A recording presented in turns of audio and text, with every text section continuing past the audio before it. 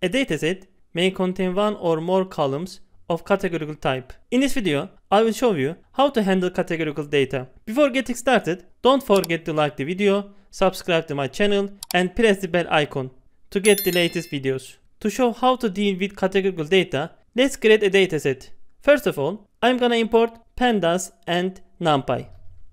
Import pandas spd import numpy as np. After that, let me create a dataset that includes the car informations. df equals pd dot data frame square brackets for car color let me set red for car size let's say L for car age let me set 5 and lastly for car class let me set class 1 I'm gonna copy this list and paste here. Let me change data. Let's say blue xl to class 2 I am gonna set black medium for car age 3 class 1 let me give column names. Df I'm gonna use columns attributes. Equals for one columns. Color for two columns. Size for three columns. Age and lastly class label.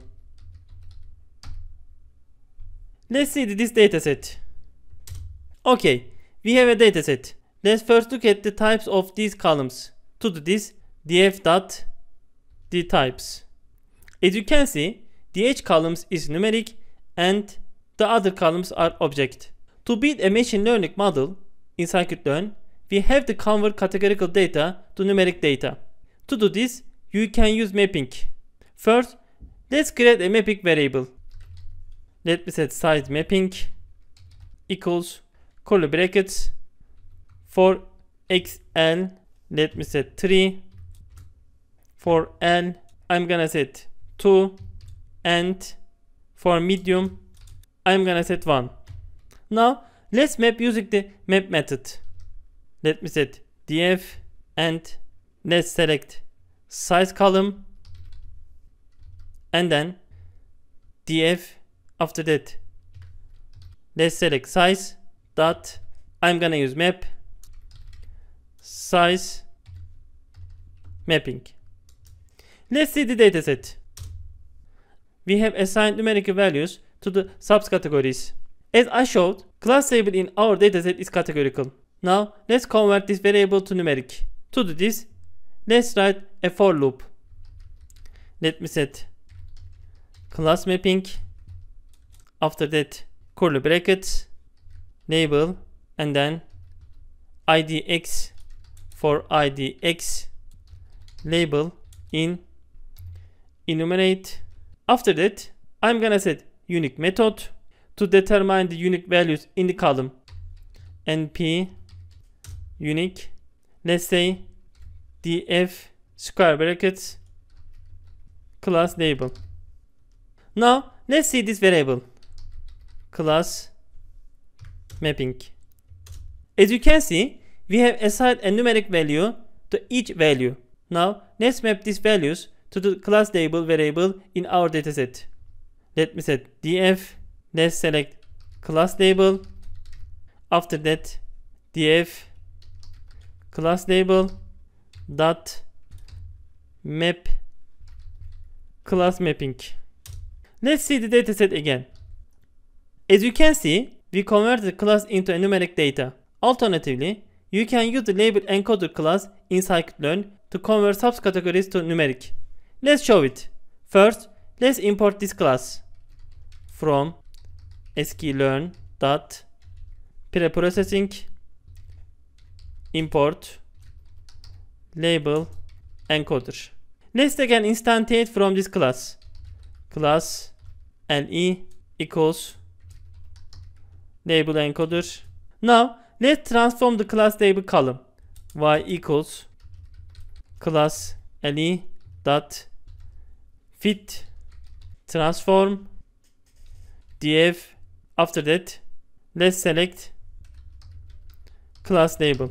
Let's convert column to numpy array. Scikit-learn likes to work with numpy arrays.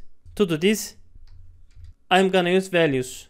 Now let's see why as you can see each subcategory has been assigned a numeric value note that the fit transform method is a shortcut to use the fit and transform method together wonderful I hope you enjoyed this video. So far, I have showed how to convert categorical data into numerical data. Let's move on and take a look at how to perform one-hot encoding. Many machine learning libraries require that class labels are encoded as integer values. The color column in our dataset is a category variable. Color, size, age are input variables. Class label column is target variable. Let's assign input variable to x let me set x df square brackets color size age and convert this variable into numpy array to do this i'm gonna set values. Let's convert the color column to numeric variable using label encoder. Now let's take an instantiate from label encoder class.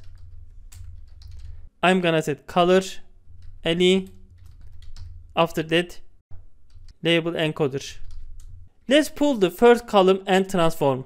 To this x colon comma 0 equals color le dot fit transform let's select first column again x secure brackets colon comma 0 okay now let's see X again. As you can see, each subcategory has been assigned a numeric value. Let's think about color column. When the algorithm sees the color variable, it thinks that there is an ordering between the colors. Since red is 2, blue is 1, black is 0. But there is no order between these subcategories, right? Red is no greater than blue. To overcome this problem, one-hot encoding technique is used. One-hot encoding a new dummy column is created for each subcategory. Since our color variable has three subcategories, three columns are created. For example, if the label is red, the red column will be 1 and the other columns will be 0. One-hot encoder is easy with the one-hot encoder class in scikit-learn. Let's convert the color variable to one-hot encoding. First, let's import this class from sklearn preprocessing import one hot encoder. Let's take an instantiate from this class. Color ohi equals one hot encoder. Now let's transform the color variable using the instantiate. Let's transform the color variable. First, let's select the color column x colon comma 0. Let's convert this variable into 3 1 dimension. To do this, I'm gonna use reshape method. Reshape minus 1 comma 1. The minus 1 here means add a dimension to the end. Then let's use the fit transform method. Color ohi dot fit transform. Let's select first column x square brackets colon comma 0.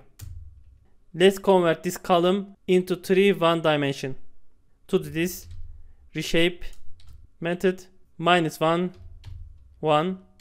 And then lastly, let's convert this into array. Let me set to array.